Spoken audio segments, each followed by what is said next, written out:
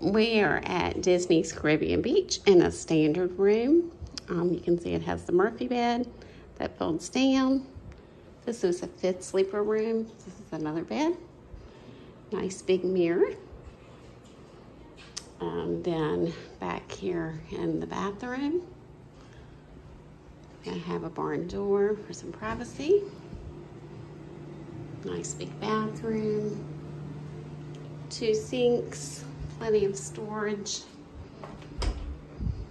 Nice closet, extra blankets and pillows.